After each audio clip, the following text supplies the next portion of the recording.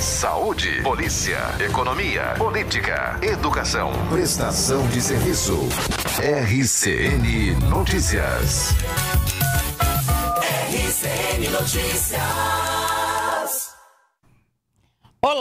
Bom dia, seja bem-vindo, seja bem-vinda ao RCN Notícias. Hoje é quarta-feira, dia 10 de abril. O RCN Notícias está no ar e eu estou de volta depois de alguns dias de férias e vamos agora conferir os destaques do RCN Notícias desta quarta-feira.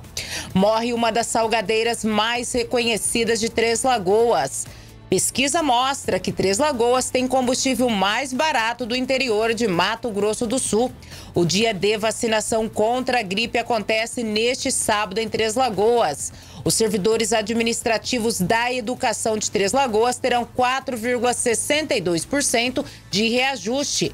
Obras, limpezas de terreno e melhorias na saúde são pautas da sessão da Câmara de Três Lagoas. E o presidente do Legislativo Municipal fala sobre empréstimo no valor de 120 milhões de reais e também da desistência de Soila Garcia na disputa pela vaga de vice em sua chapa como pré-candidato a prefeito de Três Lagoas. Vamos agora com os destaques da nossa equipe. Eu começo agora com o destaque do Alfredo Neto. Bom dia, Alfredo. Olá, bom dia Ana, bom dia a todos. Daqui a pouco vamos falar de incêndio em residência e ainda também de um motorista alcoolizado que causou um acidente que chamou a atenção. E durante esse atendimento acidente houve briga, bafafá, foi necessário de apoio da Polícia Militar, Força Tática e Rádio Patrulha. Daqui a pouco todos os detalhes. Ana.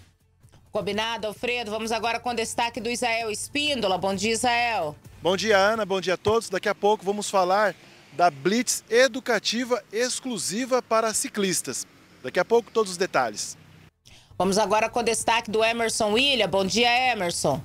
Olá, bom dia para você que está acompanhando a RCN Notícias. Dois secretários municipais pedem exoneração do cargo para disputarem as eleições municipais. Em instantes você acompanha mais detalhes sobre este assunto. Agora são 6 horas e 33 minutos, 6 e 33. Agora nós vamos conferir a previsão do tempo. Vamos saber como fica o tempo para esta quarta-feira em Três Lagoas e em toda a região.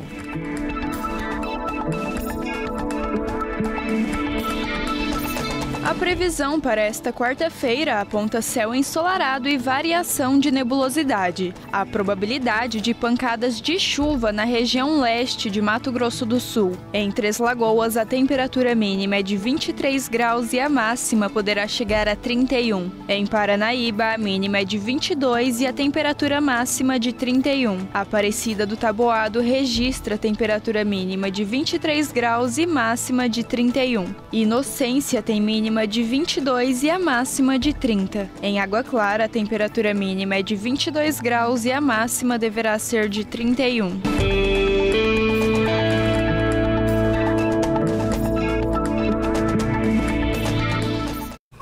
Antônio Luiz, como está a temperatura e a umidade relativa do ar nesta manhã de quarta-feira? Bom dia para você. É, bom dia, Ana, de volta, hein? Volta, Tremendas né? férias, né? É. Foi bom, hein? Oh, Eita. Só no um litoral, mais, né? litoral do Caribe ali. Ah, não, nem tanto. Ah, brincadeira, viu, gente? Ó, 25 é. graus é a temperatura neste momento aqui é, em Três Lagoas, com 81% de umidade relativa do ar. Não seria diferente, é. né? O tempão tá daquele jeito. Por falar nisso, uhum. abrindo a janela aqui para o céu de Três Lagoas, nós vemos um tempo nublado, viu, Ana? Pelo jeito aí, vai cair água, vai ou não? Vai, tem previsão de chuva sim, doutor, para hoje à tarde em Três Lagoas, assim como ontem à tarde também, né? Deu uma chuvinha boa Verdade. ontem à tarde aqui em Três Lagoas, à noite também, né? Choveu novamente. Para esta quarta-feira não será diferente. A previsão do Centro de Monitoramento do Tempo e do Clima, o Centec, indica tempo instável em grande parte de Mato Grosso do Sul, assim Assim, existe a probabilidade de chuvas de intensidade fraca, moderada e pontualmente podem ocorrer tempestades acompanhadas de raios e rajadas de vento. Tais instabilidades ocorrem devido à atuação de uma área de baixa pressão sobre o Paraguai, aliada à disponibilidade de umidade. Além disso, o deslocamento de cavados e a aproximação de uma frente fria favorecem a formação de nuvens e chuvas. Em Três Lagoas, o dia então começa com 24 graus e vamos ter máxima de 31. Vamos ter pancadas de chuva à tarde e à noite, viu, gente? A previsão, então, é de chuva para esta quarta-feira em Três Lagoas, no período da tarde e da noite. Deveremos ter pancadas de chuva. Ao longo do dia, vai chegar, vamos ter temperatura máxima de até 31 graus, né? Então não vai ser aquele dia tão quente, né, Totó? 31 graus, um dia aí, uma temperatura é, vai... agradável até, né? Porque Aliás, chegamos já quase 40, né? Verdade. Ultimamente está sendo bem gostoso mesmo, né? é. né? Pela umidade alta. É. Né? E também esse ventinho, a temperatura mais é. mais amena. Tá, Pelo tá menos muito pela gostoso. manhã, né? À tarde faz um pouco de calor, né? É, à tarde é. esquenta um pouquinho. Mas né? tá com uma cara de outono é, mesmo. Mas tá né? melhor, né? do que bem, estava, bem gostoso, né? Exatamente. Gostoso. Logo começa também o inverno, não é para menos, né? Agora são 6 horas e 36 minutos, 6 e 36.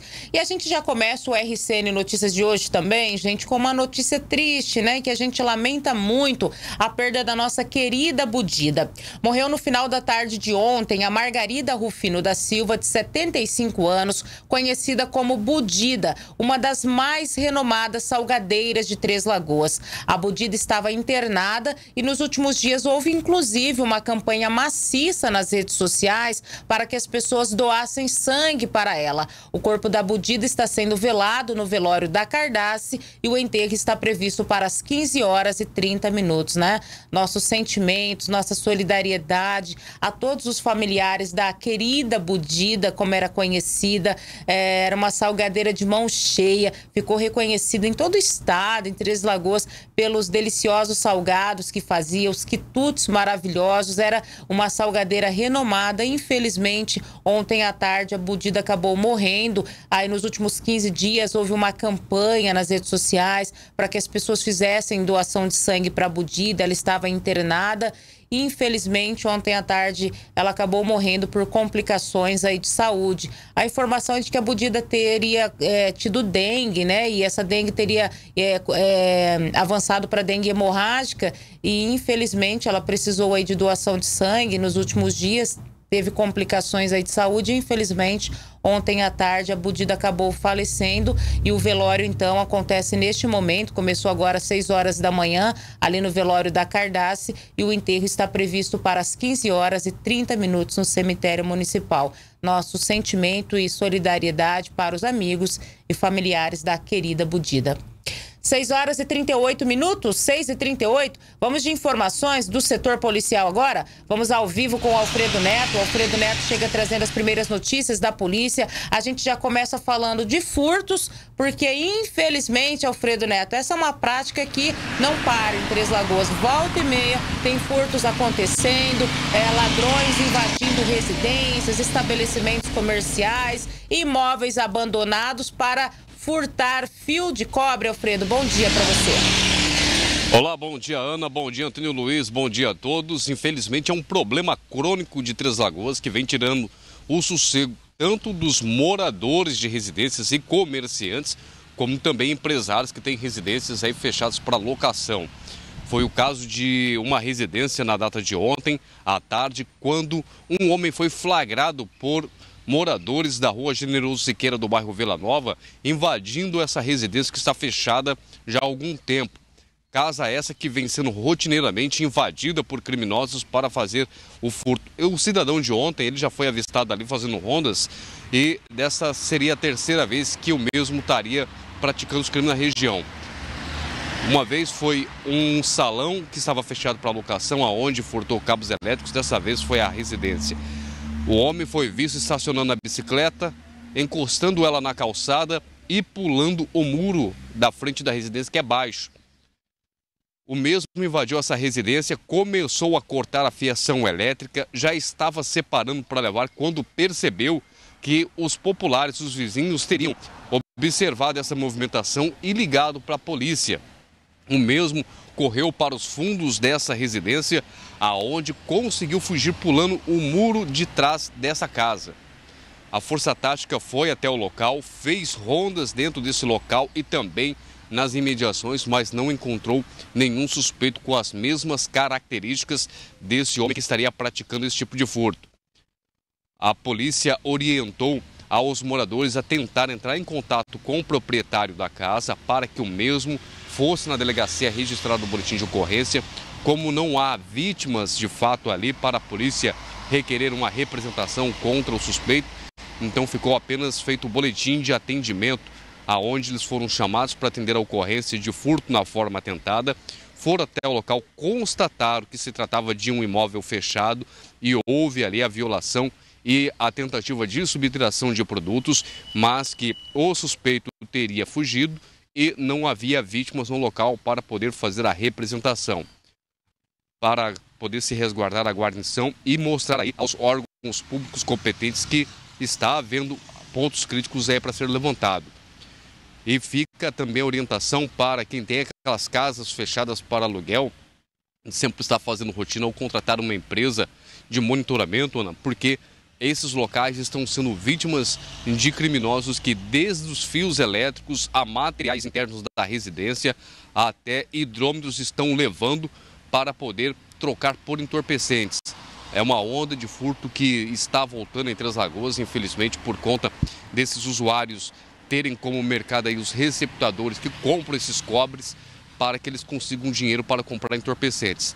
Depois desse, desse caos todo aí, desse bafafana, restou somente a bicicleta do suspeito que ficou ali na frente, aonde não tinha queixa de furto. Então os policiais não puderam conduzi-la e a mesma ficou ali encostada na calçada. De ontem até hoje de manhã, hoje chegando para trabalhar, a bicicleta estava ali na frente e nem durante a madrugada o marginal compareceu para poder resgatar a bicicleta com medo de ser preso ou sofrer algum tipo de represália ali, ser agredido ou ser pegona.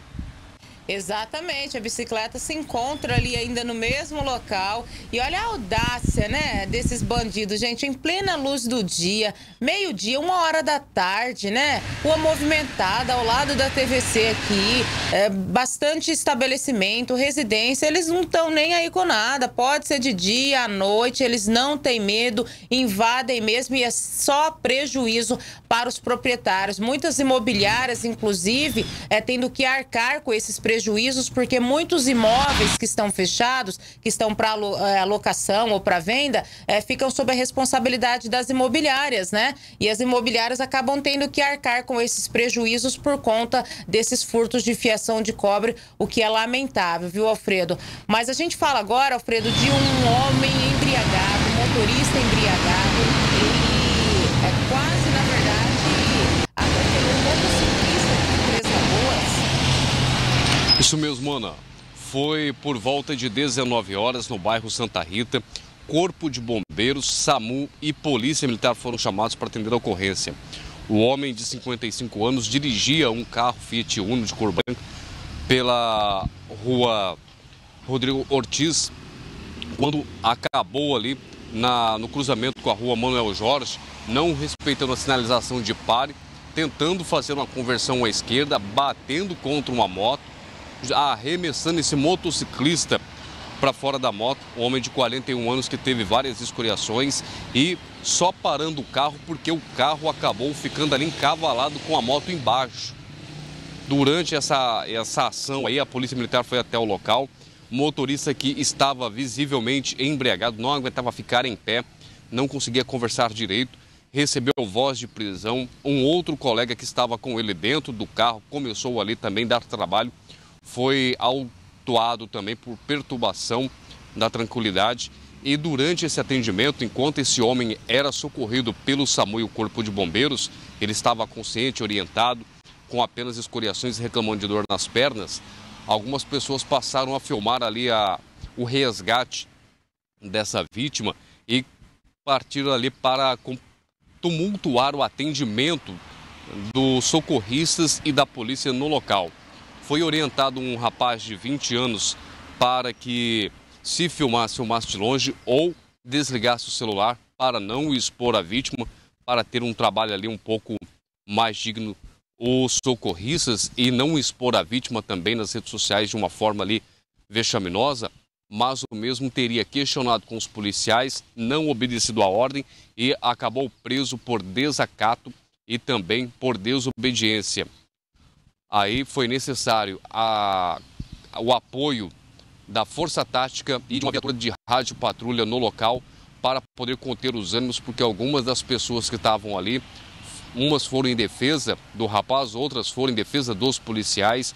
Enfim, virou um verdadeiro forfé ali, como é o jargão policial que eles falam quando é aquela confusão. E foi necessário ali a contenção dos ânimos para que os socorristas do SAMU e os militares do Corpo de Bombeiros resgatassem essa vítima com toda a tranquilidade e a Polícia Militar, por meio do pelotão de trânsito, conseguisse realizar o trabalho de registro da ocorrência. Na delegacia, o homem que dirigiu o carro foi submetido ao teste do bafômetro, a qual apontou 1,20 miligramas de álcool por ar expelido do pulmão. Acabou recebendo voz de prisão por conta de embriaguez ao volante e o caso vai ser investigado pela terceira delegacia de Polícia Civil, Ana. Lamentável, hein, Alfredo? Obrigada, viu, pela tua participação. Olha aí, mais um acidente de trânsito aqui em Três Lagoas. A gente tem falado tanto, tantos acidentes acontecendo aqui na nossa cidade, muita imprudência no trânsito.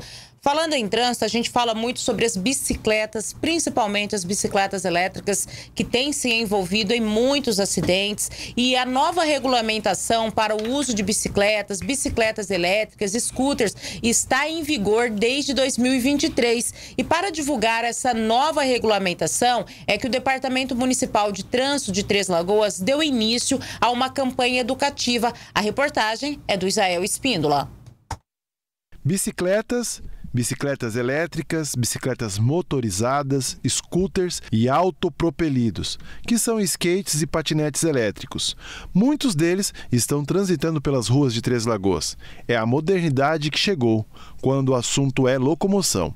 Mas, como no trânsito todos são agentes, esses veículos também precisam de regulamentação e, principalmente, que respeitem as leis de trânsito para divulgar a regulamentação do Conselho Nacional de Trânsito, o CONTRAN, é que o Departamento de Trânsito de Três Lagoas deu início a uma campanha educativa, como explica Caroline Feliciano Cruz, coordenadora de educação para o trânsito. Bom, a gente está aqui no pontapé inicial das campanhas voltadas aos ciclistas e aos condutores dos autopropelidos. Né? A gente sabe que tem muito veículo novo surgindo no mercado e recentemente o CONTRAN lançou uma nova legislação que fala sobre o assunto. Então a gente está aqui num local de bastante circulação, na ciclofaixa da Lagoa Maior, tem passa bastante ciclista por aqui, condutor de bicicleta, de bicicleta elétrica e a gente está tentando conscientizar de um por um, porque é nossa preocupação a preocupação da administração municipal é essa, de orientar para reduzir cada vez mais o número de sinistros de trânsito aqui em Três Lagoas. A Blitz é educativa, iniciou nesta terça-feira, vai acontecer em outros pontos e novas datas aqui em Três Lagoas. Serve para divulgar a nova legislação para bicicletas elétricas, ciclomotores, principalmente as bicicletas artesanais. A Resolução 996 de 2023 do CONTRAN especifica esses veículos. Foi publicada em 22 de junho de 2023 e o objetivo dessa resolução é aprimorar a definição dos veículos, estabelecendo as linhas de fronteira entre uma tecnologia e outra e dessa forma facilitar o registro e o licenciamento nos órgãos locais de trânsito. A coordenadora de Educação para o Trânsito destaca que ainda não se sabe ao certo o número de acidentes envolvendo esses veículos, mas se sabe os riscos que eles podem promover quando utilizados de forma errada, como pontua a coordenadora Caroline. A gente está fazendo um estudo ainda, né? Porque ainda tem muitos veículos novos e adaptação nova sobre a bicicleta elétrica. Inclusive você que tem bicicleta elétrica, dá uma lidinha lá nas orientações, a nova nova legislação para ver se a sua bicicleta elétrica você vai precisar de habilitação ou não. E nós temos esse estudo que a gente está fazendo através do GGIT, que é o Gabinete de Gestão Integrada em Trânsito, e em breve a gente vai estar tá soltando aí para estar tá sendo divulgado também. De acordo com o levantamento preliminar da Polícia Militar de Trânsito, nos dois primeiros meses de 2024 foram registrados seis acidentes com bicicletas elétricas em Três Lagoas. Em 2023 ocorreram 71. A quantidade de acidentes com ciclomotores também é alta, já soma 80 casos em 2024 ficam definidos como ciclomotor, veículo de duas ou três rodas com motor de até 50 centímetros cúbico, limitado a uma velocidade máxima de 50 km por hora. Bicicleta, veículo de propulsão humana, dotado de duas rodas, não sendo para efeito do Código de Trânsito Brasileiro, similar à motocicleta, motoneta e ciclomotor equipamentos de mobilidade individual autopropelidos, patinetes, skates e monociclos motorizados. A resolução serve para ajudar e preservar vidas de motoristas, ciclistas e usuários de ciclomotores. Quem foi abordado durante a blitz educativa aprova a iniciativa, já que tem muito ciclista desrespeitando as leis de trânsito. Presta muita atenção, né, nas andar na ciclovia certinho, nas faixas que precisa andar. E às vezes a causa acaba causando alguns acidentes, algumas coisas mais por desatenção mesmo. É, com certeza, né? É por causa que assim, às vezes a gente quer passar, mas o carro está com pressa, não dá preferência para a gente, porque no caso o carro é prejudicial para a gente, que pode machucar a gente, né? E a gente também, ciclista, não tem a consciência de estar tá parando. Na maioria das vezes a gente sempre passa. Você acha então que é um dever de todo mundo saber a legislação de trânsito, principalmente ciclista? Com certeza, o ciclista principalmente precisa saber. Importante, né, gente, esse trabalho, essa campanha de conscientização aí do Departamento Municipal de Trânsito. É importante instruir as pessoas, os ciclistas precisam entender que existem regras para eles também, assim como para os motociclistas, para os condutores de veículos de um modo geral, para todos os motoristas, pedestres, todos devem respeitar as leis de trânsito. E a gente vê, é, infelizmente, muitos ciclistas nessas bicicletas elétricas andando na contramão é, andando de maneira errada, é, não dão a seta, não obedecem à sinalização. Claro que tem aqueles que andam corretamente, mas para aqueles que ainda às vezes desconhecem as leis aí, é importante ficar atento que todos devem obedecer à legislação de trânsito. Agora são 6 horas e 52 minutos, 6 e 52, e olha só, gente, uma pesquisa da Agência Nacional de Petróleo, Gás Natural e Biocombustíveis do Brasil, ANP, realizada entre os dias 31 de março a 6 de abril, revelou que entre as seis cidades do interior pesquisadas, é em Três Lagoas que a gasolina comum é encontrada com preço médio mais baixo, ao valor de R$ 5,67 por litro. A pesquisa abrange também os municípios de Corumbá, Coxim, Dourados, Nova Andradina, Ponta Porã e Três Lagoas. Ainda em relação à gasolina comum, o preço mais caro foi encontrado em Corumbá, onde ela é encontrada em média no valor de R$ 6,78. Foram ainda pesquisados os preços da gasolina aditivada, do etanol, do diesel e do diesel S10.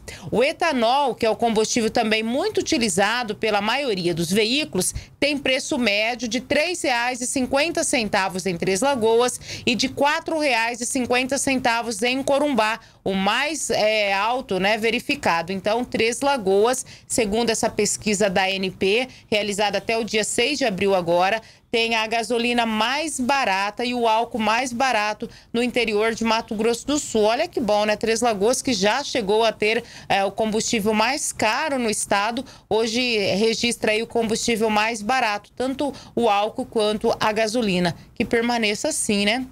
6h54 agora, 6 horas e 54 minutos. Antônio Luiz, a gente vai fazer o sorteio hoje de cinco ingressos para quem quiser participar do Café com Negócios, mais Isso uma mesmo, edição Ana. desse evento que acontece aqui em Três Lagoas. Isso mesmo, Ana. Um, um evento que você não pode perder, por isso nós estamos fazendo aqui o sorteio destes ingressos. São duas pessoas, são dois felizardos que vão ser contemplados, cada um com cinco ingressos, ou seja, são dez ingressos que serão sorteados nesta manhã aqui no RCN Notícias para esse evento que acontece dia 12, ou seja, sexta-feira, às sete horas da manhã, no Papilão Buffet, bem aqui no centro.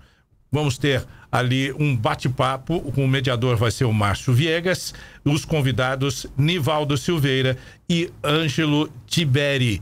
Você não pode perder, é um evento importante para você, para o seu negócio.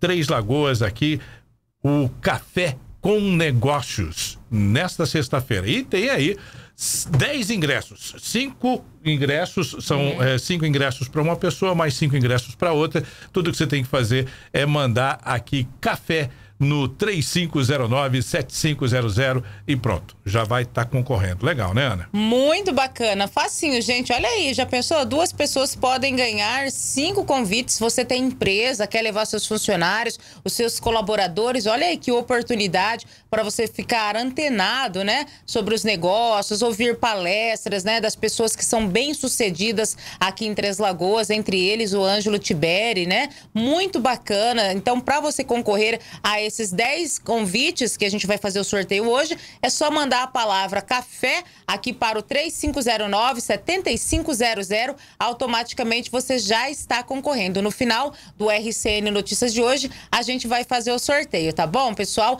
6h56 agora, 6 horas e 56 minutos. Nós vamos ao intervalinho. Na sequência, a gente volta para falar sobre troca de secretários. Tem secretários novos na prefeitura. A gente volta para falar sobre terrenos baldios, sobre obras em andamento em Três Lagoas, outras obras que estão sendo reivindicadas também. Vamos falar de política também. É daqui a pouquinho, depois do intervalo.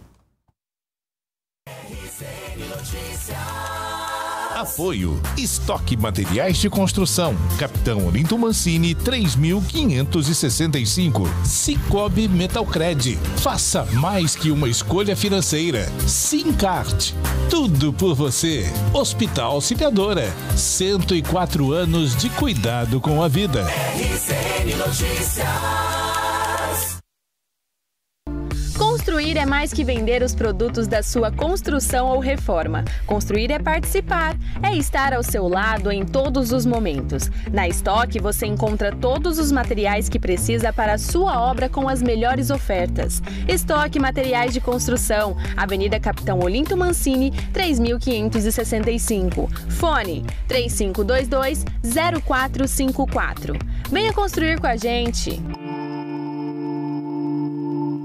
Você já conhece o SimCard, o cartão de benefícios do servidor municipal que veio para fomentar o comércio local. Com o SimCard, os usuários têm diversos benefícios, sem taxas, sem mensalidades ou anuidades, até 45 dias para pagar, compras parceladas sem juros e aceito em vários segmentos do comércio. Tudo isso para facilitar a vida do servidor municipal, gerando economia, agilidade e segurança. SimCard, tudo por você. Fale com a SimCard. WhatsApp 99868 6278.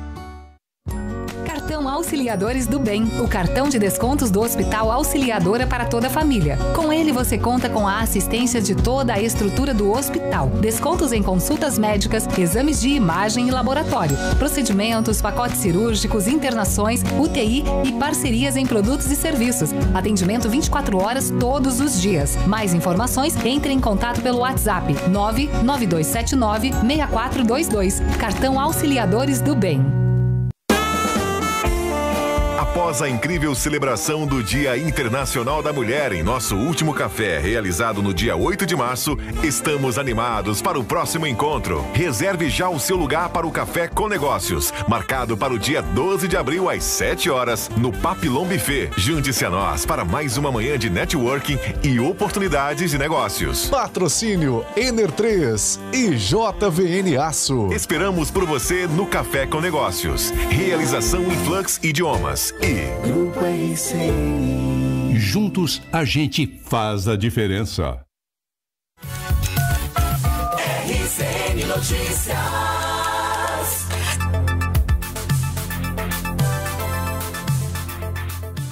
Agora, 7 horas e 59 minutos. Você já imaginou aí ter a casa dos seus sonhos? Na Estoque Materiais de Construção, o seu sonho pode se tornar realidade. Afinal de contas, é, tem um estoque completo aí de materiais de construção e acabamento. E a Estoque Materiais de Construção tem tudo o que você precisa para transformar a sua casa aí em um verdadeiro lar. E agora, em outubro, o Grupo RCN e a Estoque Materiais de Construção vão estar sorteando aí uma casa incrível para você e para sua família. E é só comprar na Estoque Materiais de Construção, preencher o cupom virtual e concorrer à casa dos seus sonhos. Você pode visitar a Estoque e saber como participar. A Casa dos Sonhos pode ser sua. Estoque Materiais de Construção, onde os seus projetos se tornam realidade. É, fica ali na Capitão Olinto Mancini, 3.565. Bem pertinho do Cristo. Ana? Sete horas em ponto agora, sete em ponto. Bom dia a todos. Muito obrigada pela audiência, pela sintonia para você que está interagindo com a gente através do Facebook do JP News, Facebook da Cultura e da TVC e também do nosso WhatsApp 3509-7500. Muito obrigada pela tua participação. Fique à vontade, pode mandar o seu bom dia, pode comentar os assuntos que estamos abordando. Lembrando que estamos ao vivo também pela Cultura FM 106.5 e também pela TVC HD, né, gente? Tem várias maneiras de você começar o dia aqui muito bem informado. Quero agradecer, inclusive, a audiência do Ricardo Luiz. Agora, há pouco, nós mostramos uma reportagem, né, a respeito das novas regras para os ciclistas. E ele diz: bom dia, né? As novas leis para os ciclistas, seja elétrica ou manual, se faz necessária. Mas precisamos reverter todas as nossas ciclovias e revitalizar. As sinalizações são poucas existentes, já estão apagadas. E os semáforos para ciclovias devem ser implantados. Parabéns pela reportagem. Obrigada, viu, Ricardo Luiz? Pela tua participação. O Ricardo, inclusive, já está concorrendo aqui aos ingressos para o Café com Negócio. Se você quer concorrer a cinco convites, são dez ao total. Cada pessoa vai ganhar cinco convites para participar do Café com Negócio, que acontece nesta sexta-feira aqui em Três Lagoas. É, vocês vão ouvir palestras de pessoas renomadas aqui da nossa cidade. É, enfim, é um evento muito bacana. Para você concorrer a esses convites, basta você mandar a palavra café para o 3509 97500. Eu quero agradecer a audiência também dos nossos internautas interagindo com a gente. O Tenente Cândido do Corpo de Bombeiros, obrigada, viu, Tenente, pela audiência, pelo carinho. O Ari Costa também. A Noemi Medeiros, bom dia, lindona. Obrigada, viu, pela audiência, pelo carinho de sempre.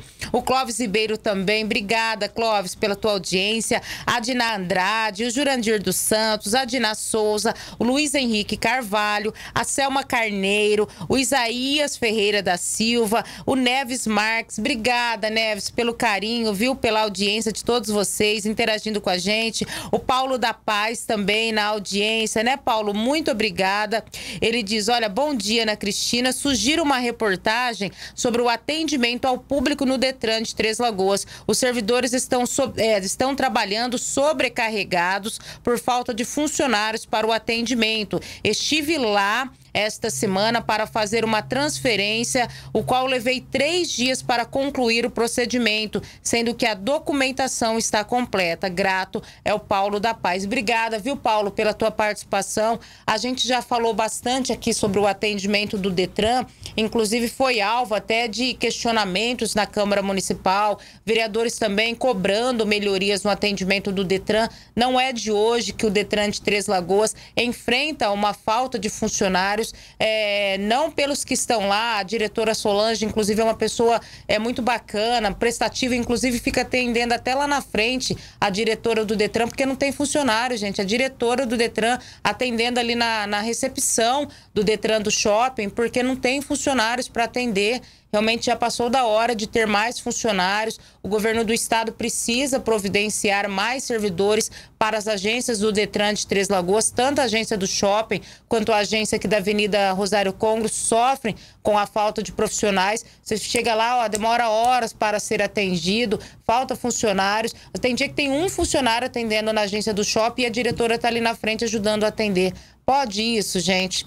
Não, né? Mas, Paulo, a gente vai entrar em contato aí com o Detran de Mato Grosso do Sul para saber aí o que pode ser feito para melhorar o atendimento nas agências aqui de Três Lagoas, tá bom, meu querido? Muito obrigada pela tua audiência e pela tua indicação aqui de sugestão de reportagem, tá bom?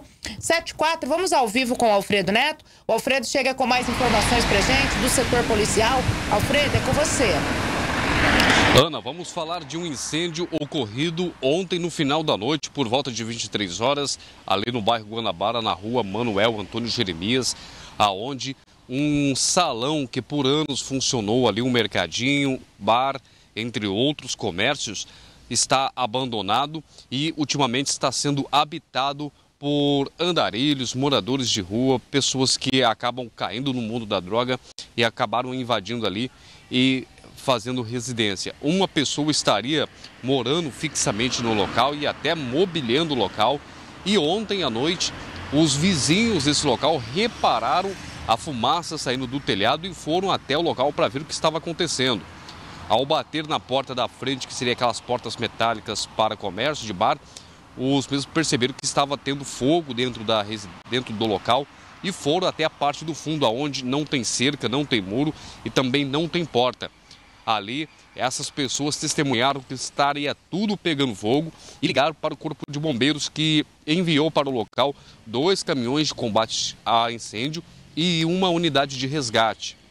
Chegando no local, populares disseram que ao avistar o fogo no interior desse imóvel, teria visto um volume ali em cima de uma das camas em fogo e não sabia dizer se era uma pessoa ou se era algum outro produto que estava ali e que teriam se confundido. Os bombeiros conseguiram conter as chamas, fazer o rescaldo de resfriamento das paredes e do telhado e fazer uma busca.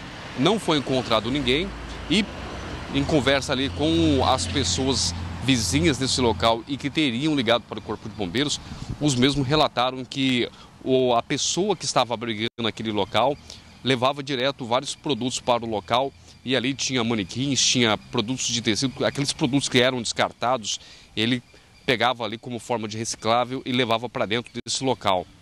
Um local esse, Ana, que estava bastante sujo, tinha bastante coisa ali jogada em várias partes desse imóvel e não tinha energia elétrica e nem ligação de água. A guarnição do Corpo de Bombeiros acredita que uma bituca de cigarro possa ter causado um incêndio e agora tenta descobrir quem foi, já que essa pessoa que estaria habitando esse local não foi até o local, não foi encontrado, não estava ali acompanhando o trabalho do Corpo de Bombeiros, possivelmente na rua não sabia que o local ali estaria pegando fogo, destruindo os pertences dele e agora fica para a Polícia Civil investigar o caso. Se esse incêndio foi um acidente, alguém que teria entrado dentro do local e acabado ali causando o incêndio acidentalmente, ou se foi criminoso, já que o incêndio estava uniforme ali dentro, como se tivesse esparramado gasolina, algo que o fogo tivesse esparramado fácil por todos os ambientes. As chamas tomaram conta dos móveis, os objetos que estavam ali nesse local, do telhado que tem algumas vigas de madeira e as telhas de eternite, aquela fibrocimento e o perigo ali para os militares que estavam combatendo esse fogo foi grande do telhado ceder. Felizmente o telhado suportou as chamas, os militares conseguiram ali fazer o rescaldo e isolar o local por conta do risco de desabamento. Agora é o inquérito policial. Caso essa vítima vá até a delegacia registrar o boletim de ocorrência para poder ser investigado se o incêndio foi criminal ou se foi acidental, Ana. Lamentável, hein, Alfredo? Obrigada, viu, Alfredo, pela tua participação. O Alfredo Neto trazendo aí informações a respeito deste incêndio no bairro Guanabara, aqui em Três Lagoas. Sete horas e nove minutos agora, sete e nove. E olha só, gente, infraestrutura, saúde e terrenos baldios foram assuntos debatidos na sessão de ontem da Câmara Municipal aqui de Três Lagoas. Acompanhe a reportagem. Durante sessão ordinária, vereadores usaram a tribuna para apresentar indicações, entre elas voltadas para melhorias no trânsito e limpeza de terrenos baldios. Ah, com certeza, né, Ana? A gente tem essa preocupação, né? Já não é de hoje que a gente vem cobrando melhorias no trânsito, é, com faixa elevada, com redutor de velocidade, também a questão de limpeza de terreno, que você sabe que Três Lagoas sofre muito com alguns terrenos aí que as pessoas não fazem a limpeza. A gente aprovou projetos aqui que tem a notificação, a multa bem cara, mas a gente não quer multar a população, a gente quer que a população se conscientize e limpe seus terrenos. Então nós estamos pedindo aí encarecidamente para a população que tenha seus terrenos, manter o seu terreno limpo, porque depois que é punido que é sofrido a multa, depois fica difícil, né? Aí tem que limpar e pagar a multa. Então dá para evitar esse transtorno. Então a gente vem cobrando muito aqui na sessão essa questão e espero que a população ouça o pedido aí para manter os seus terrenos limpos. O vereador Adriano César Rodrigues, o sargento Rodrigues, ainda apresentou duas indicações, solicitando a pavimentação de duas ruas em diferentes regiões da cidade. Sim, sim. Hoje nós entramos com dois pedidos muito importantes para a população sobre questão de pavimentação asfáltica.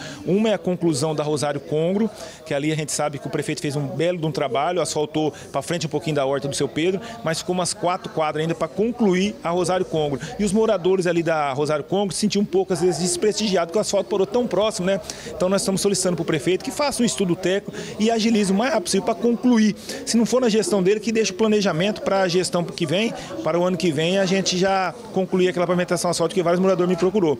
E a outra, Ana, como você tem o conhecimento, nós pedimos para fazer a pavimentação asfáltica ali entre a Urias Ribeiro e o bairro Montonini, aquela via de acesso. Porque hoje os moradores do Montanini, que me assistem e sabem muito bem o que eu estou falando, há anos vocês sofrem com a falta de, daquele ligamento para o município. Ou vocês enfrentam a BR-158, que é um risco danado, inclusive várias pessoas já perderam a vida ali naquele trecho, ou vocês enfrentam aquele poeirão na época da seca ou na época da chuva, aquela lama. Então nós precisamos, e sem dizer, Ana, que também não tem iluminação pública ali. Então eu venho cobrando muito do prefeito Anjo Guerreiro para fazer aquela via de acesso, aquela pavimentação asfáltica, que penaliza todos os moradores do Montanini e agora os moradores dos quatro Ecoville, que tem ali quatro condomínios fechados do Ecoville, que faz a divisa ali e sofre com o poeirão que vai para as suas residências. Então é de suma importância para o prefeito Anjo Guerreiro colocar no seu radar, ver se ainda coloca agora dentro da legislatura dele, a gente sabe que está caminhando para a reta final, mas se também não concluir, que coloque no planejamento para a gestão que assumir o ano que vem, com faça esse asfalto e a iluminação que dá acesso ao bairro Montanino, que é muito importante. A vereadora Marisa Rocha, por sua vez, enalteceu a tão esperada obra de pavimentação de ruas do bairro Vila Alegre. Eu agradeço aqui de coração o prefeito Ângelo Guerreiro que teve a coragem, a ousadia, porque eu sei que é muito sério. Estou aqui nessa casa há quantos anos? Há 26 anos eu cobrando aquilo lá, porque eu vivo aquilo lá todo dia, eu moro lá, entendeu? Só que você sabe que é uma obra cara, então que poderia pegar esse dinheiro e investir numa escola, em outra coisa que aparecesse, né? Mas graças a Deus e ao empenho do prefeito Ângelo Guerreiro, nossas obras estão lá a todo vapor. Então quais obras vai beneficiar? Você já sabe quais ruas? Aí? Sim, ó, esse quadrante, né? Lá vão ser cinco fases. A fase 1 a 2 já vão ser agora. Mas a, a, a primeira fase é entre a Olinto Mancini, a Egídio Tomé, a Ranulfo e a, a Ponta Porã, certo? Essas ruas serão drenadas e asfaltadas, todas, todas drenadas e asfaltadas. Eu não tenho bem certeza se na Ponta Porã ou se morre ali na Alba Cândida, tá? É, eu estou fazendo uma equívoca, eu acho que ficou para outra fase essa outra parte. Mas esse quadrante agora, todo ele vai ser feito. E aí depois a segunda vai pegar ali o fundo da exposição, vai revitalizar o piscinão, que às vezes não comporta, então vai ter que bombear ele entendeu? Então, mas essas duas etapas começaram, já estão licitadas, começadas, e se Deus quiser, vai terminar. Se não for na gestão dele essa primeira e segunda fase, acredito que sim. Mas as outras, o nosso próximo prefeito vai dar andamento. Já sabe o valor das obras ali? 24 milhões. Mais ainda, na sessão desta terça-feira, a vereadora Marisa Rocha questionou o atendimento na área da saúde. Então, eu, queria deixar bem claro que eu não tenho nada contra médicos. E os médicos, esses novatos, são importantes, mas a gente não pode abrir mão dos nossos médicos mais antigos, que têm esse compromisso, que sabe, porque você sabe que a gente aprende no dia a dia. Você sai da faculdade, mas você não aprendeu 100%, tem que ser na prática. Né? E aí hoje a gente está vendo lá no, no, na, na rede social a denúncia da Márcia Gisela, né? Um erro sério que poderia ter comprometido o irmão dela para o resto da vida.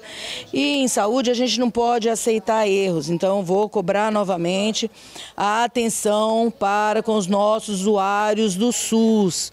O Hospital Nossa Auxiliadora precisa dar uma atenção para os nossos usuários do SUS. Entendeu? Eu acho assim que está deixando a desejar. 7 e 14 agora, 7 horas e 14 minutos, né? Então foram os principais assuntos debatidos na sessão de ontem da Câmara Municipal. Falando sobre essa questão de terrenos baldios que o vereador Adriano César Rodrigues falou, né, o Sargento Rodrigues no início do jornal, é, pedindo para que os proprietários é, limpem seus terrenos. A gente tem visto, inclusive, a prefeitura tem aplicado muitas multas aos proprietários de terrenos baldios, inclusive todos os dias aí no Diário Oficial tem notificação a proprietários que não limpam os seus terrenos. Então tá havendo aí uma fiscalização e é importante haver a conscientização por parte dos proprietários, né, gente? O proprietário sabe, ele tem um terreno, a obrigação é dele limpar, não é do município, né? A prefeitura não tem obrigação de limpar terrenos particulares. É preciso haver essa conscientização por parte dos proprietários proprietários. A gente tem falado aí de escorpiões, é dengue, né? Tantas doenças e a gente sabe que os terrenos baldios acabam contribuindo para isso por conta de sujeira nesses locais, recipientes que servem aí para a proliferação do mosquito transmissor da dengue, por exemplo. A Margarete Lopes, inclusive, está reclamando da situação do círculo militar lá no bairro Vila Piloto, né? Ela disse que está tomado por mato uma parte do círculo militar, uma parte o pessoal já fez a limpeza, é, fez a roçada ali da calçada, só que tem um outro lado do círculo militar, a calçada, gente, está tomada por mato, bem ao lado ali da missão salesiana, né, do centro juvenil. Então ela está pedindo para que o pessoal aí do exército providencie a limpeza ali é, do entorno do círculo militar na Vila Piloto. Olha isso, gente, tomado por mato, não tem nem calçada, não dá nem para passar na calçada ali ao lado do círculo militar. A gente vai pedindo para o pessoal aí do exército providenciar a limpeza no entorno do círculo militar de Três Lagoas e o bairro Vila Piloto, inclusive, registrando uma grande infestação de escorpiões, né? Olha aí, a Margarete, inclusive, mandou pra gente fotos de um vidro cheio de escorpiões que uma moradora lá do bairro encontrou na residência dela. A gente já fez reportagens aqui, inclusive, falando sobre esse assunto. Moradores ali da Vila Piloto é, encontrando muitos escorpiões em suas residências. Por isso que é importante todos manterem os seus quintais limpos, as residências limpas e os terrenos baldios também. 717. Vamos agora para a capital. Daqui a pouquinho a gente fala sobre troca de secretários aqui em Três Lagoas e sobre política também. Vamos ao vivo agora para a CBN Campo Grande, às 7 horas e 17 minutos. Vamos com a participação do Matheus Adriano, que chega com informações para gente direto da CBN Campo Grande. Oi, Matheus. Bom dia para você. Bom dia, Ana. Bom dia a toda a nossa audiência. Olha, ontem o governo do estado decretou situação de emergência ambiental por conta das chuvas que estão abaixo da média desde o mês de dezembro aqui no estado. A preocupação é com todos os biomas aqui do estado, o Pantanal, o Cerrado e a Mata Atlântica, que ficam mais suscetíveis a incêndios florestais com essa falta de chuva. Inclusive, está sendo realizado aqui em Campo Grande o primeiro workshop presencial de prevenção aos incêndios florestais, onde o governador Eduardo Riedel esteve presente e assinou o decreto da situação de emergência. Segundo ele, o Estado possui recursos de 25 milhões de reais para atuações preventivas contra esses incêndios. A situação é delicada, pois os focos de incêndio registrados neste ano já são quase o dobro do mesmo período do ano passado. Hoje, o Corpo de Bombeiros conta com um efetivo de aproximadamente 1.600 profissionais e mais de 300 são altamente capacitados para o combate a incêndios florestais. Durante esse workshop, também foi lançado o plano de operações para a temporada de incêndios de 2024, que é chamado de Operação Pantanal. O plano está na fase de prevenção e preparação. Ao todo, 31 militares atuam na limpeza de estradas e cabeceiras de pontes, no estabelecimento de bases avançadas em Corumbá e no reconhecimento e monitoramento dos parques estaduais daquela região. Esse workshop então segue hoje com palestras durante a manhã e oficinas práticas durante a tarde um tema importante a ser abordado. A situação é delicada nesse começo de ano. A gente torce para que essas ações de prevenção, de combate aos incêndios, sejam efetivas para que a gente não passe novamente pela situação que a gente passou ano passado com aquelas queimadas no Pantanal. Exatamente, Matheus. Isso é muito importante, esse plano, essas ações aí do governo do estado. É, a gente espera que quando chegar o período de seca, né, o período de estiagem, junho, julho, agosto, aí a situação não seja realmente preocupante como em anos anteriores. Obrigada, viu, Matheus, pela tua participação. Matheus Adriano trazendo informações pra gente, direto da CBN Campo Grande, emissora integrante do Grupo RCN de Comunicação. 7 horas e 19 minutos agora, 7 e 19. Ainda falando, gente gente, sobre a política local, né? Esse ano é um ano de eleição e olha só, gente, a equipe do secretariado da Prefeitura de Três Lagoas passou por mudanças e ganha dois novos nomes, viu? O motivo se dá pela exigência da entrega de cargos para quem pretende disputar as eleições deste ano. Acompanhe a reportagem do Emerson William. As movimentações pré-período de eleições já têm desenhado o cenário político de Três Lagoas. Na última sexta-feira, o secretário de Juventude, Esporte e Lazer, Antônio Rialino, e a secretária de Assistência Social, Vera Helena Pinho, entregaram os cargos para disputarem duas vagas ao Legislativo Municipal. Atualmente, ambos se encontram na situação de pré-candidatura. Antônio Rialino está afiliado ao PSDB e Vera Helena no PP. A legislação eleitoral prevê que pessoas que ocupam cargos públicos se descompatibilizem das funções em até seis meses antes das eleições, caso se candidatem a vereadores, em até quatro meses antes, caso se candidatem a prefeitos ou vice-prefeitos. Daiane Mateus assumiu a pasta de assistência social nesta semana.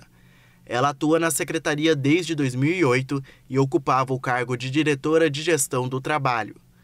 Para os próximos meses como secretária, Daiane afirma que dará continuidade aos projetos da antecessora.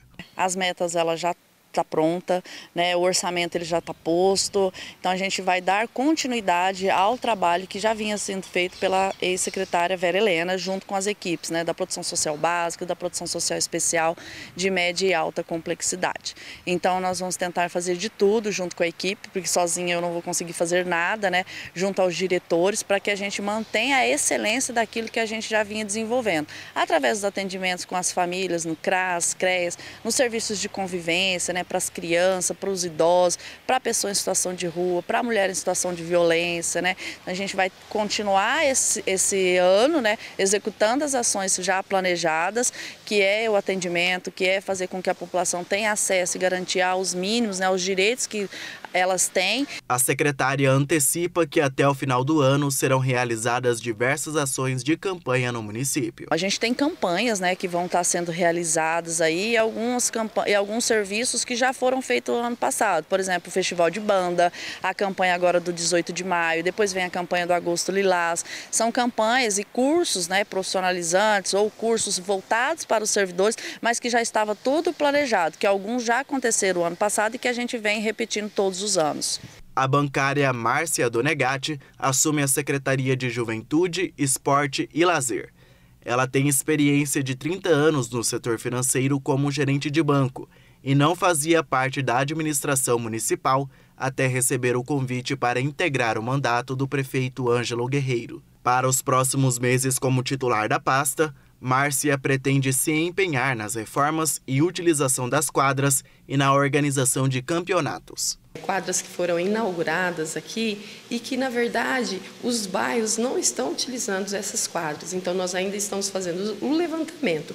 O nosso ginásio, ele já vai começar agora, provavelmente a partir da semana que vem, a reforma, porque não sei se vocês observou que ali aquela tem uma telha ali que foi arrancada com o vendaval. Nós já listamos, nós já estamos com o pessoal de obra que já vai dar andamento nisso aí para deixar corretinho, arrumadinho esse ginásio. É, o nosso planejamento em relação a campeonatos, nossos campeonatos, eles estão rodando normal. O Realine já deixou um trabalho é feito, rodando. E aí, o que, que nós estamos buscando? Não só o futebol, mas nós vamos buscar as outras modalidades, assim como natação, vôlei, judô. Outras modalidades, como futebol de salão e vôlei de praia, também terão prioridade nos próximos meses.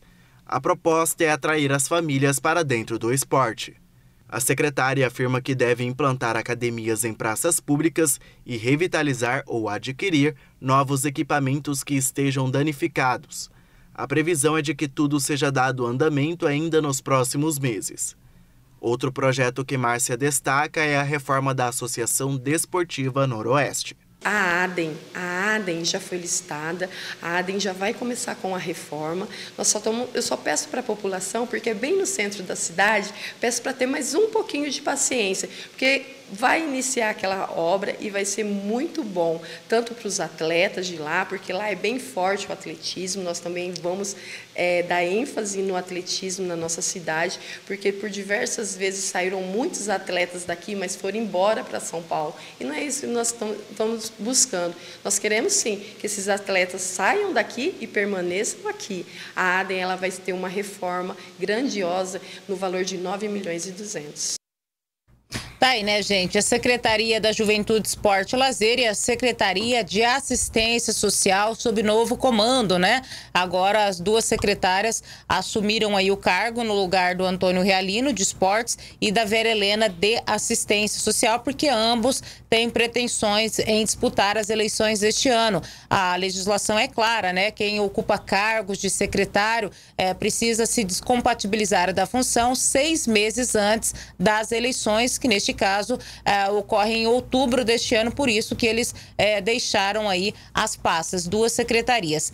A Vera Helena, inclusive, ela é cotada para ser a vice do Cassiano Maia. Daqui a gente vai, vai falar, inclusive, sobre essa questão do vice, né? Porque inicialmente é, se cogitou o nome da Soila Garcia, que é a secretária de Finanças, para ser a vice do Cassiano. Mas a Soila não se descompatibilizou, ou seja, ela não será é, candidata nas eleições deste ano, porque precisaria ter se descompatibilizado do cargo seis meses antes. Isso não aconteceu. Ela segue como secretária de Finanças e se especula muito, se cogita muito que a Vera Helena pode ser a vice de Cassiano Maia, assim como outros nomes também. Inclusive, eu conversei com o presidente da Câmara Municipal, Cassiano Maia, falando sobre essa questão do vice, mas também a respeito de um empréstimo, né? Porque a Prefeitura de Três Lagoas, ela eh, pretende contrair o empréstimo no valor de 120 milhões de reais para a execução de obras de infraestrutura na cidade. A Secretaria do Tesouro Nacional, inclusive, aprovou agora, nos últimos dias, um pedido de empréstimo no valor de 120 milhões de reais para a prefeitura de Três Lagoas. A carta proposta ela foi apresentada pelo município ao Banco do Brasil em outubro do ano passado. A operação prevê a liberação dos recursos em duas parcelas, sendo uma no valor de 60 milhões ainda neste ano, em 2024, e a outra de 60 milhões no próximo ano. A transação ela terá carência de 12 meses com prazo de pagamento de 120 meses. O projeto que autoriza a Prefeitura de Três Lagoas a contrair empréstimo no valor de 120 milhões de reais foi aprovado pela Câmara no ano passado e foi alvo de muita polêmica. O presidente da Câmara, Cassiano Maia, falou de mais essa etapa para a liberação do recurso, que será utilizado para a execução de obras de pavimentação asfáltica de ruas dos bairros Jardim das Violetas, Vila Aro, Vila Verde, Maristela, Chácara Imperial e Vila Alegre. É um recurso de 120 milhões, que foi muito debatido aqui na Câmara Municipal. E hoje a gente vê, é, não seria aprovado pelo Senado Federal, pelo Orçamento Nacional, se não tivesse aí todo um planejamento e uma, um cuidado com o erário público. E esse, esse, esse, esse custeio pode ser na forma de duas metades, 60 milhões agora para 2024, 60 milhões para o próximo ano. E de acordo com os planejamentos e as prioridades das obras da gestão do prefeito Ângelo Guerreiro, tenho certeza que vai ser feita aí da melhor forma. E quem vai ganhar é a população mais uma vez, com toda essa harmonia entre prefeito Ângelo Guerreiro, bancada federal no nosso Senado, nossos deputados federais e aqui no município, a nossa Câmara Municipal, tentando aí sempre ter esse olhar de de estar juntamente com o executivo fazendo os melhores trabalhos. A execução de várias obras em Três Lagoas, algumas em andamento e outras que ainda serão iniciadas, foi um dos motivos apontados, inclusive para a secretária de Finanças, Sola Garcia, não deixar a prefeitura para disputar as eleições deste ano. A secretária foi cogitada inicialmente para ser a vice na chapa encabeçada por Cassiano Maia, que disputará a prefeitura de Três Lagoas nas eleições deste ano. Maia analisou a desistência de Soila da disputa. Nesse assunto, a gente tenta ser bem claro e transparente para a população translagoense e se ambientalizando com todo esse entendimento, onde nós do PSDB temos a minha pré-candidatura a prefeito e nós, com o prefeito Ângelo Guerreiro, com o governador Eduardo Rírio, a gente viu a importância da necessidade de estarmos caminhando junto com a nossa senadora Tereza Cristina do Partido Progressista. E é a partir disso que a nossa senadora Tereza Cristina, na convenção é, do partido, que irá se realizar aproximadamente no mês de julho, ela deverá nos indicar dentre seus filiados para que a gente consiga aí compor a chapa de candidatura a prefeito e vice-prefeito. No caso, a Soila, que é uma secretária de finanças, que todos a conhecem, vocês sabem o meu carinho especial por ela, ela precisava se descompatibilizar para pleitear essa pré-candidatura, mas realmente a gente precisa, como você acabou de comentar, temos aí todos esses investimentos de 120 milhões, tem esse pacotão de obras que foi é, anunciado do prefeito Ângelo Guerreiro na Feira Central, de aproximadamente 360 milhões. Então é um contexto de obras, de processos licitatórios que precisam ser encarados e a gente analisou que a retirada dela poderia lentificar todo esse processo e nós temos aí como partido principal Três Lagoas e é Três Lagoas que tem que ganhar, então nós não podemos lentificar. A Soile entendeu e quem vai ganhar é a população com tudo isso. Tá aí, né? Então a Soila Garcia não será mais é, um dos nomes cogitados para ser vice na chapa encabeçada por Cassiano Maia, que é pré-candidato a prefeito de Três Lagoas pelo PSDB nas eleições deste ano. Conforme eu disse, é, outro nome cogitado é o da Vera Helena, que está afiliada hoje no PP, porque quem vai indicar o vice do Cassiano Maia será o PP, o Partido Progressista, que hoje em Mato Grosso do Sul está sob o comando da senadora Tereza Tereza Cristina. Foi um pedido da senadora Tereza Cristina para que o PP indicasse o vice do PSDB em Três Lagoas. Então, a Soila segue filiada ao PP, mas já está totalmente descartada a possibilidade dela ser a vice, até porque ela não se desincompatibilizou do cargo, permanece secretária. A Vera Helena desincompatibilizou, pode ser a vice do Cassiano Maia, mas o PP também analisa o nome do João Paulo Tiberi que é de família tradicional aqui de Três Lagoas, a família dos Tiberes, é um outro nome cogitado para ser o vice do Cassiano Maia. Hoje estaria entre o João Paulo Tiberi e a Vera Helena para ser a vice do Cassiano Maia. O que o, que o PP e o PSDB analisam? Eles querem um nome é, que venha da área da classe empresarial, dos pecuaristas, ligado à ala bolsonarista por quê? Porque o PL de Três Lagoas já anunciou que vai ter pré-candidato a prefeito, né? O Paulo Verão é o pré-candidato a prefeito pelo PL, que é o Partido Liberal, partido do ex-presidente Jair Bolsonaro. E a gente sabe, eles sabem que é, os bolsonaristas são bem radicais a esse ponto de votarem realmente em determinado candidato. Então, o que, que eles analisam? Vamos trazer alguém ligado à ala bolsonarista para o PP. E assim racha o PL, né? PL fica enfraquecido nesta situação em Três Lagoas. Então, essa é a ideia deles: trazer alguém ligado à área é, bolsonarista, a, aos militares, à questão dos pecuaristas, enfim, dos empresários, para que possam agregar, somar. A Soila não tem esse perfil, né? Não é ligada essa ala bolsonarista, ala dos pecuaristas, dos empresários. Então, o PP hoje analisa um candidato a vice do Cassiano com esse perfil, ligado à ala dos bolsonaristas aqui em Três Lagoas para poder concorrer com o PL, para enfraquecer o partido do PL aqui em Três Lagoas. É isso que eles estão analisando, por isso que a Soila não será mais a vice do Cassiano, né? Depois que o PL decidiu que o partido terá um candidato a prefeito em Três Lagoas, eles resolveram, não, nós precisamos analisar alguém com esse perfil, que possa atrair votos dessa classe, né? Da classe rural, dos empresários, pecuaristas, enfim, dos, dos bolsonaristas aqui em Três Lagoas. A Vera Helena também não teria esse perfil, né? Mas, enfim, ela é ligada também, tem um irmão que é médico, poderia ah, agregar também voto dessa classe eh, aqui em Três Lagoas. E nos próximos dias o Dr. Rui Costa Neto, que é um outro pré-candidato a prefeito, também vai lançar a sua pré-candidatura em Três Lagoas. Então, hoje, é, nós teríamos três nomes já é, confir confirmados, não, porque ainda precisa aguardar as convenções em julho, né? Só a partir de julho que dá para se falar que são candidatos, né? Por enquanto, são pré-candidatos e hoje, então, a gente teria três nomes para disputar a prefeitura de Três Lagoas, que são três médicos pela primeira vez na história de Três Lagoas, nós vamos ter aí é, três médicos, se isso se concretizar, se confirmar, se esses nomes forem aprovados em convenção em julho, Três Lagoas pela primeira vez terá três médicos disputando a prefeitura de Três Lagoas. Né? Os médicos que sempre foram muito unidos em sua profissão, né? Eles são unidos é, quando se trata de profissão, mas se tratando na disputa pela prefeitura de Três Lagoas, a gente vê um racha muito grande, uma divisão muito grande de grupos aí é, formados para disputar a sucessão do prefeito Ângelo Guerreiro. Ah, inclusive, nos bastidores, se fala muito que um médico pode se aliar ao outro, que um gostaria, inclusive, que fosse o vice do outro, mas por enquanto segue aí os três como pré candidatos a prefeito de Três Lagoas. Precisa aguardar, ainda tem muita coisa para acontecer, ainda tem muitas reuniões, muitas negociações até a chegada das convenções em julho, que é quando se confirma então as candidaturas, quando se oficializa as candidaturas. 7 horas e 35 minutos, 7h35, nós vamos ao intervalinho e a gente já volta com mais informações. RCN Notícias.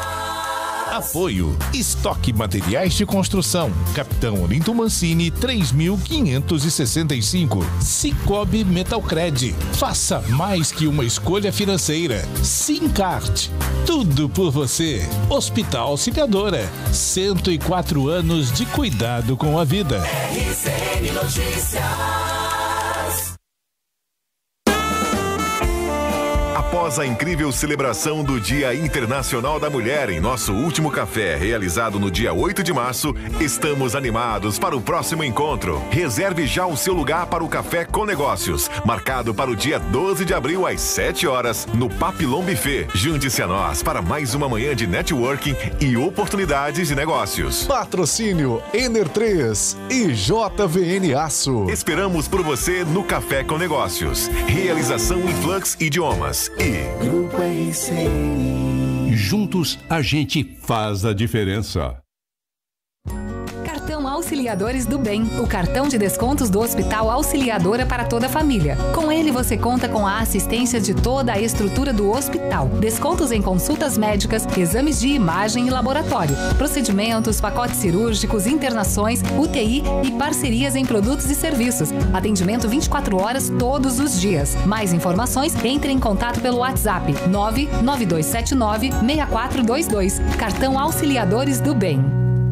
Venha conhecer o Cicobi Metalcred, a cooperativa que apoia seu negócio. Fundada em 2001 e em 2008 passou a fazer parte do sistema Cicobi. O Cicobi Metalcred fez história incorporando outras 12 cooperativas e apoiando seus cooperados. Soluções em crédito inovadoras e expansão das suas unidades. Chegamos em Três Lagoas em 2017 e não medimos esforços contribuindo para o desenvolvimento e prosperidade de seus cooperados. Venha nos conhecer na Rua Doutor Munir Tomé, 764 e faça mais que uma escolha financeira.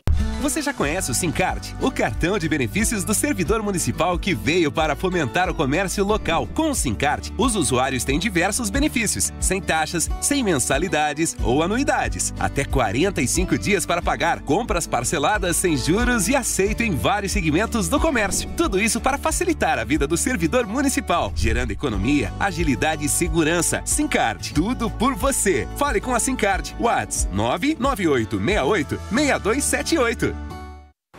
Ei, qual é o seu maior sonho? Eu quero um cantinho pra chamar de meu. Não quero mais me preocupar com aluguel. quero a chave da minha felicidade. Eu não quero perder essa oportunidade. Imagine você tendo a sua casa própria. Agora pare de sonhar e participe da maior promoção que Três Lagoas já viu. Estoque Materiais de Construção e Tintas Velutex apresentam. Casa dos Sonhos, a casa dos meus sonhos. Compre nas empresas parceiras, preencha o cupom virtual e concorra a chaves que podem abrir a casa dos seus sonhos. Atenção para as empresas participantes. Casa das Cores. Rede de Postos Sete Mares. Instituto Visão Solidária. Casas Alea. Morena Mulher. Cicobi Metalcred. Leituga Saúde. Loteamento AT. Casa dos Sonhos, Grupo RCN. RCN Notícias.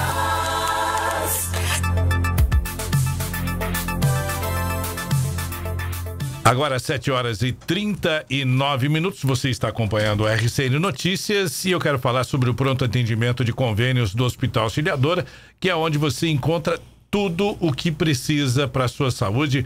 Afinal de contas, são 15 médicos clínicos e também especialistas o dia todo, todos os dias. Tem também o Centro de Especialidades Médicas e uma equipe multidisciplinar à sua disposição, sempre oferecendo o melhor tratamento. E são mais de 20 convênios atendidos aí, além do particular, que tem suporte completo deste hospital que existe há mais de 104 anos, sempre oferecendo saúde e qualidade para Três Lagoas e região. Ana?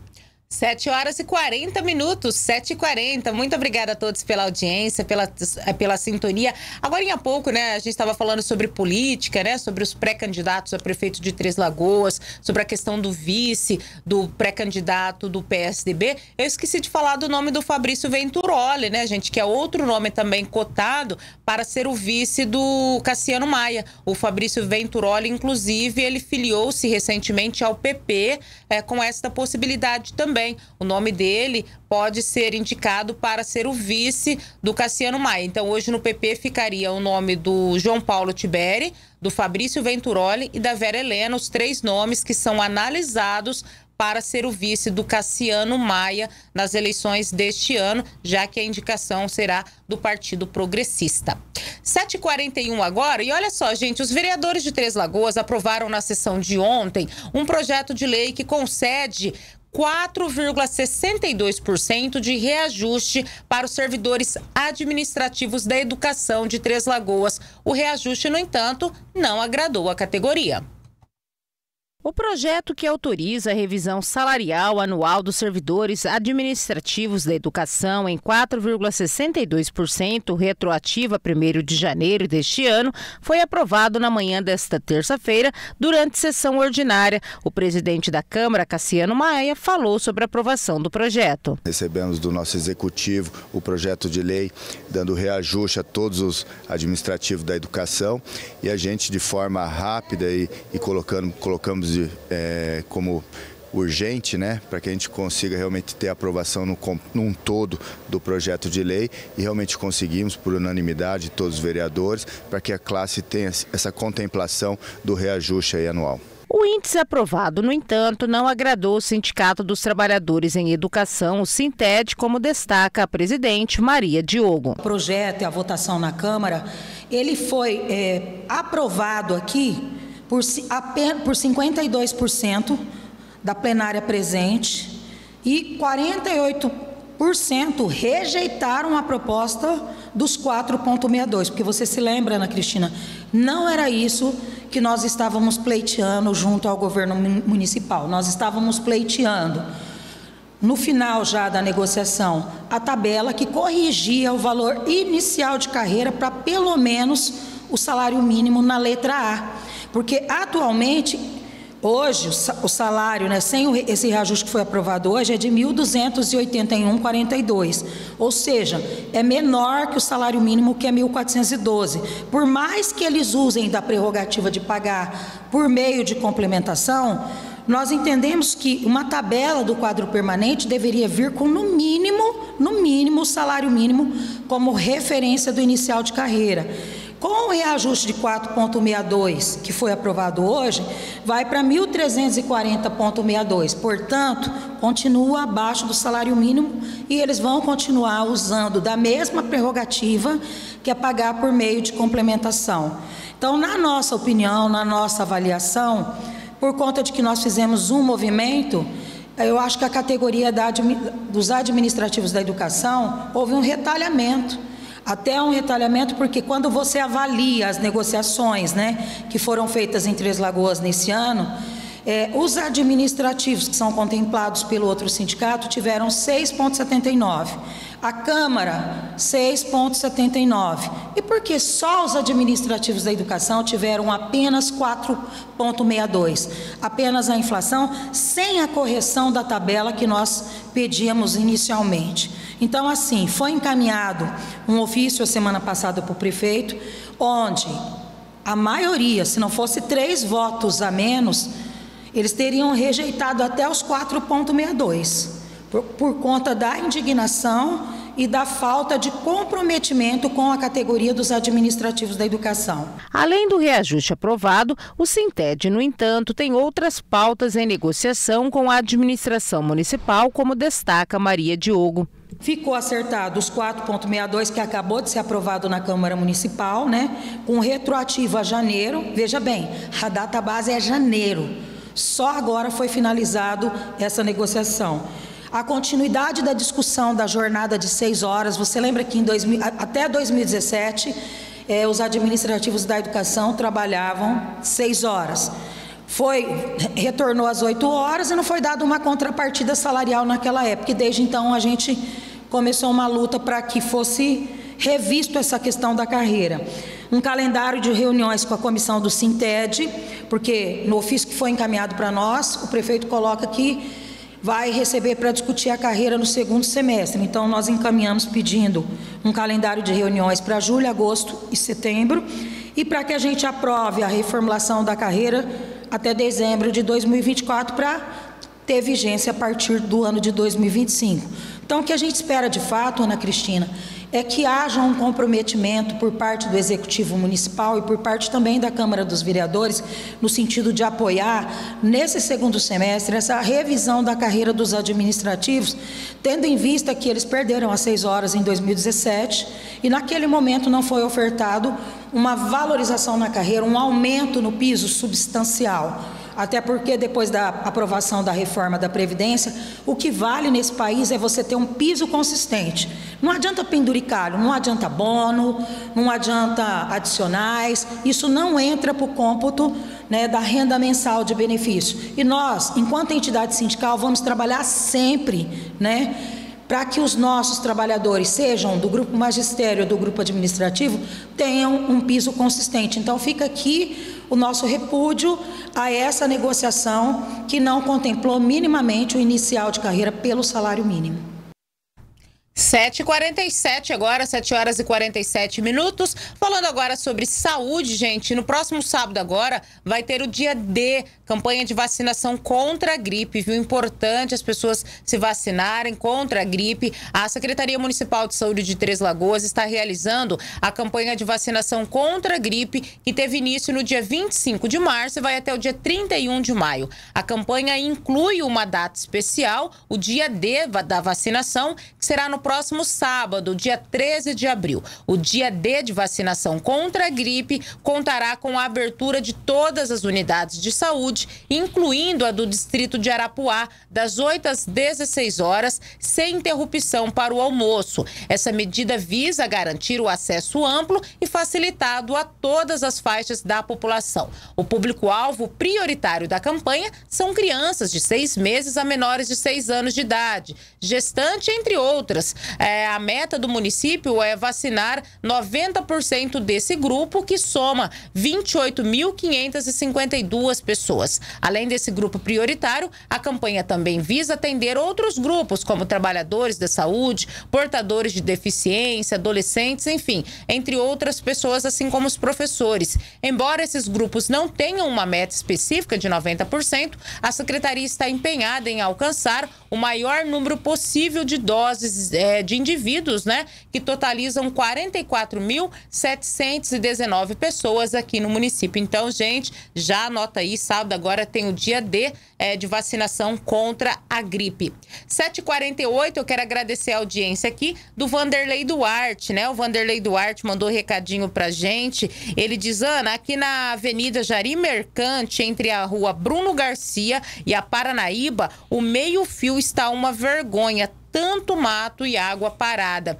Atenção, pessoal aí da prefeitura, né? Dá uma passadinha na Avenida Jari Mercante, entre a rua Bruno Garcia e a rua Paranaíba, é uma região nobre da cidade. O Vanderlei Duarte está reclamando que está feio lá, meio fio, tá uma vergonha, cheio de mato, água parada. Tá registrado aqui, tá, Vanderlei? Obrigada pela audiência. Professora Gedalva Tenório, obrigada, viu, querida professora, pela audiência, pelo carinho, tá bom? Ah, ela diz: olha, meus sentimentos, a família da Budida, né? Três Lagoas está em luto é, desse ser humano e profissional maravilhosa que nos deixou ontem, né? No início do jornal, nós falamos, nós abrimos o RCN Notícias de hoje, falando que, infelizmente, né, a salgadeira Budida, muito querida aqui em Três Lagoas, é, faleceu ontem à tarde, após é, ficar internadas algum dia, alguns dias aí no hospital. Estava, inclusive, todo, tinha toda uma campanha de doação de sangue para ela, infelizmente ela teve complicações aí de saúde e acabou morrendo ontem à tarde. O corpo dela está sendo velado no velório da Cardace e o enterro está previsto a partir das 15h30 no cemitério municipal. 7 horas e 50 minutos, 7 e 50. Olha só, gente, alunos de 11 a 14 anos que participaram da seletiva dos Jogos Escolares Municipais no xadrez, eh, eles vão participar agora do campeonato estadual, tá? É uma seletiva que, na verdade, serve para definir quem vai participar do campeonato estadual de xadrez. A reportagem é do Israel Espíndola. Alunos de escolas públicas e privadas de 12 a 14 anos participaram na sexta-feira, na Escola João Magiano Pinto, da seletiva do xadrez. A cada ano, o nível técnico, assim como o número de atletas e escolas participantes, aumentam, para a alegria do técnico enxadrezista Rodrigo Oliveira. Então, esse nível, esse ano realmente o nível está bem forte, porque as crianças, cada ano que passa, estão treinando mais, levando o xadrez mais a sério, né? Então isso acaba que fica uma disputa mais sadia, mais competitiva no xadrez. A cada ano, o nível técnico do xadrez de Três Lagoas aumenta mais. O ano passado foram 50 atletas. Em 2024, 54 atletas. Daqui saem os representantes, tanto feminino quanto masculino, que irão representar Três Lagoas nos Jogos Estaduais Estudantis. Concentração, respeito ao adversário faz parte da vida do enxadrezista. As peças são devidamente movimentadas depois de muita análise de jogo. Mas às vezes a sorte bate na porta e o enxadrezista tem que estar atento. Foi o que aconteceu com a atleta Maria Luísa Araújo, de 11 anos, que na primeira rodada venceu o adversário em poucos minutos. Conta pra gente o que aconteceu, Maria Luísa. Ela fez dois lances inválidos, sendo que no jogo de xadrez não pode. O máximo em adulto é um, só que aqui em criança é dois.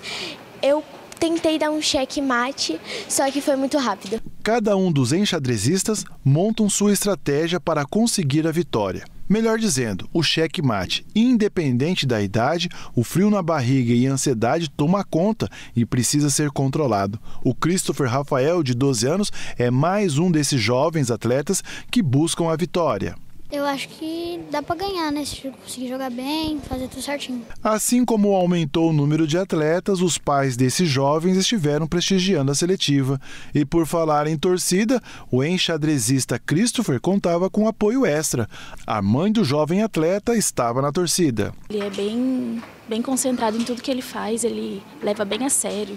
Tudo que ele vai fazer, ele e o xadrez foi uma coisa que, que ele gostou muito. Desde quando ele entrou, o professor também disse que, que ele ficou encantado para mim ele está de parabéns. Os campeões representarão Três Lagoas nos Jogos Estadual que acontecem em Campo Grande.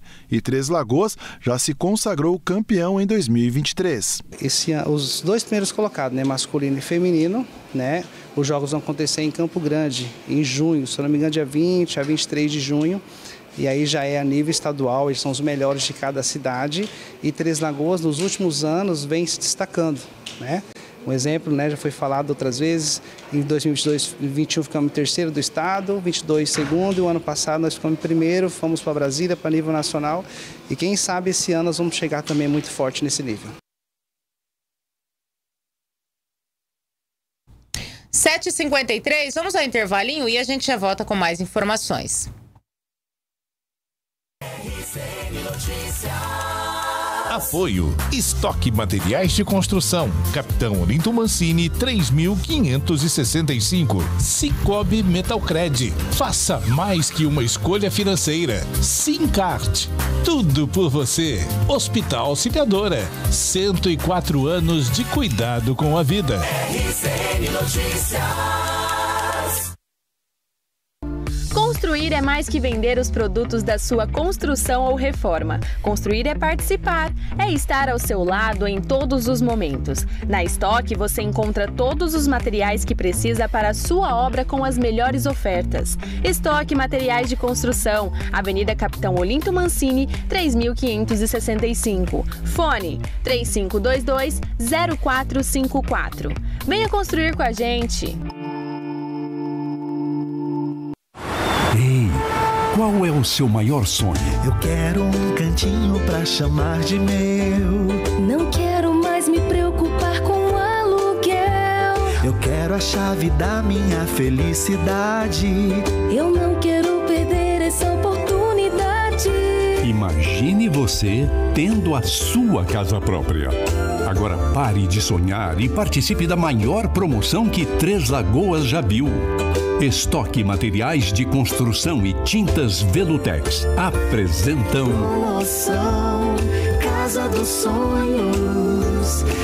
Casa dos meus sonhos. Compre nas empresas parceiras, preencha o cupom virtual e concorra a chaves que podem abrir a casa dos seus sonhos. Atenção para as empresas participantes. Sete Farma. Comercial Mariano. Colégio Êxitos. Postos Nikkei Paraty. DMS Fibra. Ener 3. Vidrobox. Suco Prats. Vive Empreendimentos. Casa dos Sonhos. Grupo RCN. Venha conhecer o Cicobi Metalcred, a cooperativa que apoia seu negócio. Fundada em 2001 e em 2008 passou a fazer parte do sistema Cicobi. O Cicobi Metalcred fez história incorporando outras 12 cooperativas e apoiando seus cooperados. Soluções em crédito inovadoras e expansão das suas unidades. Chegamos em Três Lagoas em 2017 e não medimos esforços contribuindo para o desenvolvimento e prosperidade de seus cooperados. Venha nos conhecer na rua Doutor Munir Tomé, 764 e faça mais que uma escolha financeira. Após a incrível celebração do Dia Internacional da Mulher em nosso último café, realizado no dia 8 de março, estamos animados para o próximo encontro. Reserve já o seu lugar para o Café com Negócios, marcado para o dia 12 de abril às 7 horas, no Papilon Buffet. Junte-se a nós para mais uma manhã de networking e oportunidades de negócios. Patrocínio Ener 3 e JVN Aço. Esperamos por você no Café com Negócios. Realização Influx Idiomas e Grupo RCN. Juntos a gente faz a diferença. RCN Notícias.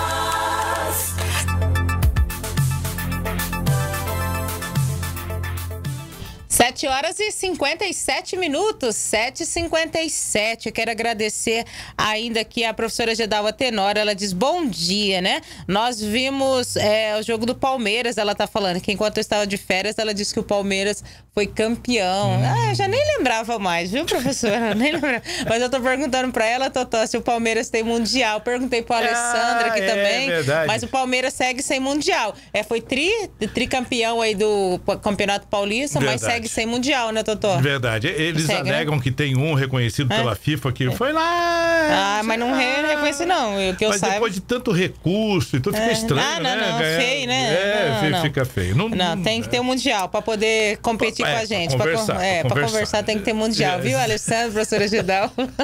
Brincadeiras à parte, tá, gente? Só pra descontrair mesmo, sabe que eu respeito o time de cada um, tá?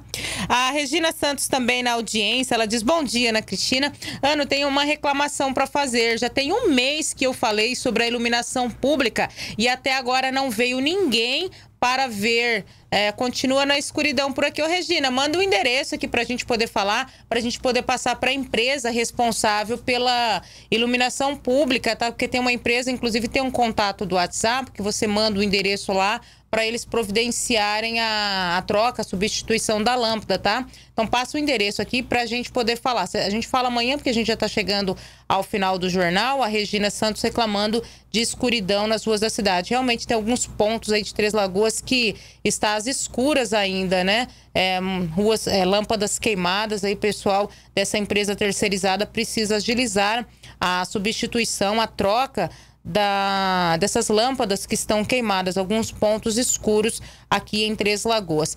Antônio Luiz, é hora da gente saber agora do sortudo ou da sortuda, dos contemplados com cinco ingressos cada para poder participar do Café com Negócios que acontece sexta-feira agora. Vamos lá, vamos lá. Você que participou pelo 35097500, a primeira contemplada é do telefone final 530, é a Neuza Dias, ganhou cinco ingressos. Pode passar aqui na Eurídice Chagas Cruz, 807. 807. Isso, 807, bairro Vila Nova. Bairro Vila Nova. Olha eu perdendo o endereço do trabalho aqui. E outro contemplado?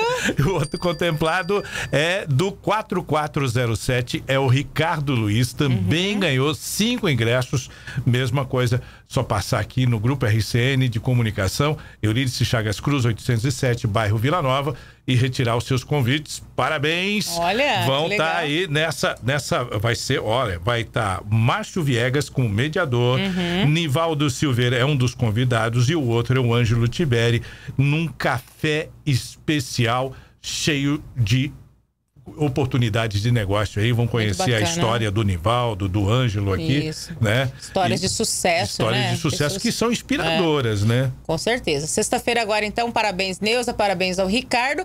E 8 horas em ponto, gente. Já estamos chegando ao final do RCN Notícias desta quarta-feira. Agradecendo pela tua audiência. Muito obrigada pela tua companhia, pelo teu carinho, né? Para você que esteve sintonizado com a gente, pela Cultura FM, pela TVC ou pelas nossas redes sociais. Muito obrigada pela audiência, pelo teu carinho. A gente volta amanhã às 6h30 em mais uma edição do RCN Notícias. Eu desejo para você uma excelente quarta-feira. Apoio Estoque Materiais de Construção. Capitão Olinto Mancini 3565. Cicobi Metalcred. Faça mais que uma escolha financeira. Simcart. Tudo por você. Hospital Auxiliadora. 104 anos de cuidado com a vida. RCN.